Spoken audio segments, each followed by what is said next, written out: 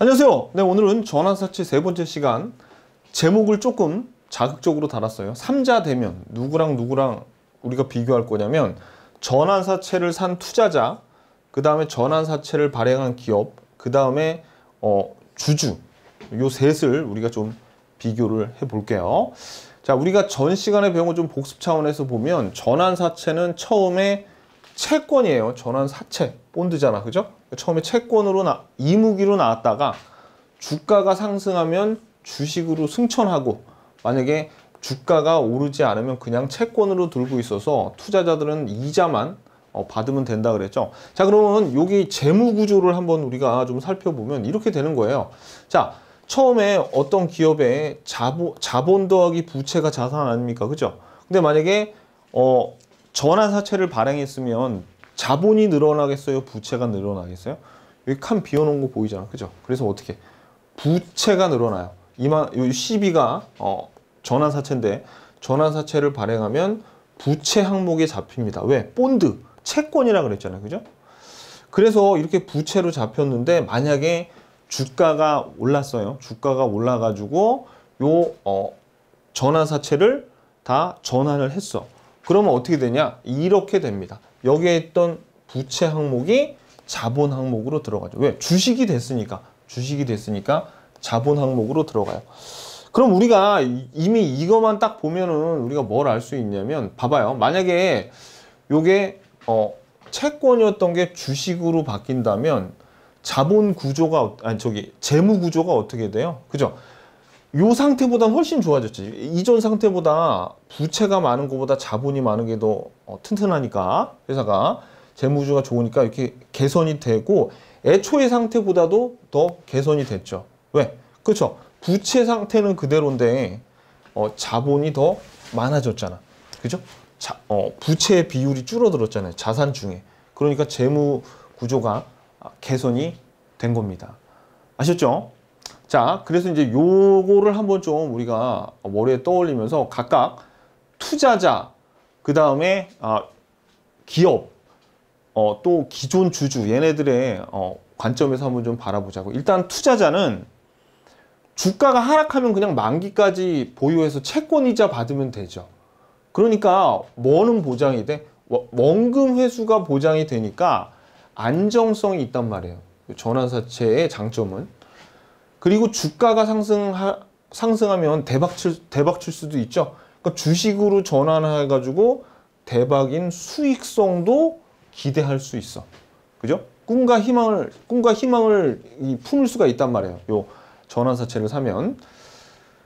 그래서 일반적인 채권보다 수익률이 이자율이 좀 낮다, 낮다고 하더라도 일반적인 채권보다는 전환사채 쪽으로 갈까라는 유인이 생겨요. 왜냐면 주식에는 뭐가 없어요. 주식에는 이 안정성이 없단 말이야. 주식에는. 그리고 채권은 대박을 노리는 이런 수익성과 같은 낭만이 별로 없어. 항상 정해진 이자만 주잖아요. 근데 이 주식에는 없는, 채권에는 없는 꿈과 낭만이 여기에는 있잖아요. 그죠? 전환사채는. 그러니까 조금 어, 수익, 채권보다 수익률이 낮더라도 어, 투자를 하려고 한다는 얘기예요. 또 주식 사기에는 원금 까먹을 거봐 겁도 나니까. 그래서 투자자가 투자자는 이런 어, 성격을 갖고 있기 때문에 발행 기업에서는 기존의 일반 채권보다 낮은 이자로도 투자자들한테 전환사채를 어, 사, 어, 이렇게 팔려고 할 수가 있죠.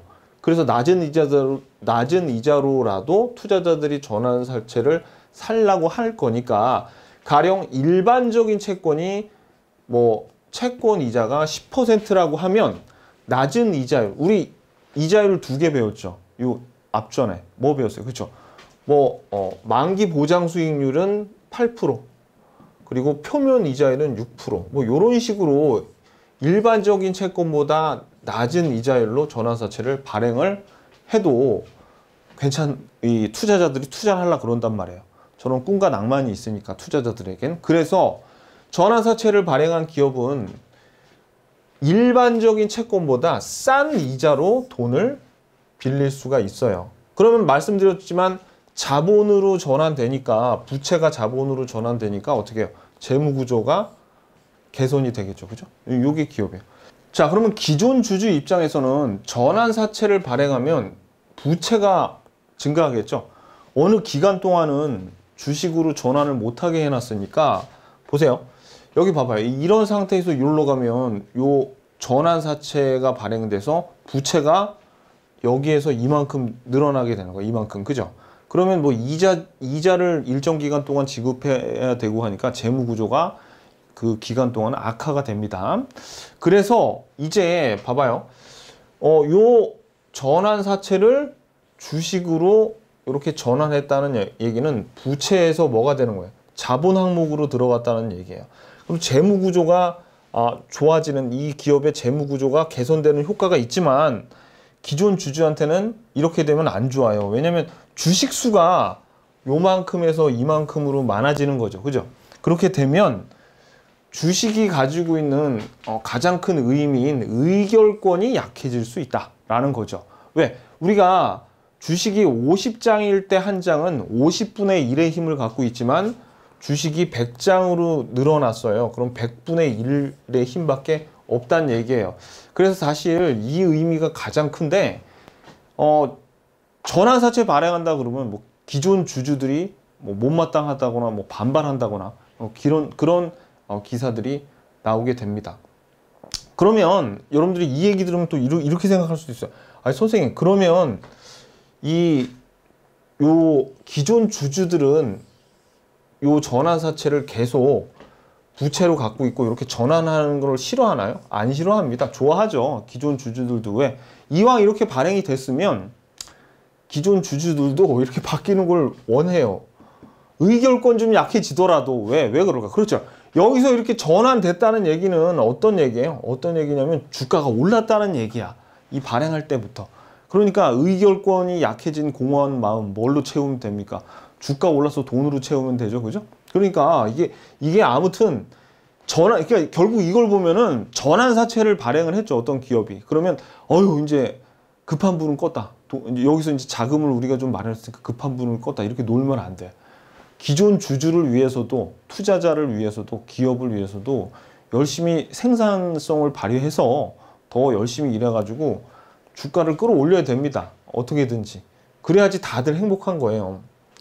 근데 이제 특히 이 의결권에 좀 민감한 아, 요, 요런 사람들은 누구냐면 이제 뭐 대주주들 있죠. 경영권을 뭐 이렇게 지키려는 그런 대주주들.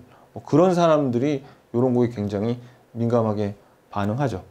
자, 그래서 오늘 우리가 어, 요 전환 사채를 어, 기존 주주의 입장에서 그리고 발행 기업의 입장에서 발행 기업은 어때요? 그렇죠? 재무 구조가 어, 개선돼요. 자본으로 전환되면 이런 이점이 있고 투자자는 안정성과 수익성도 기대할 수 있으니까 왜 전환 사채가 기존의 일반 회사채보다는 이율이 낮은지 요거를 보면 알 수가 있습니다. 아셨죠? 오늘도 너무 재밌었다고요? 다음 주에 뵙겠습니다. 안녕히 계십시오.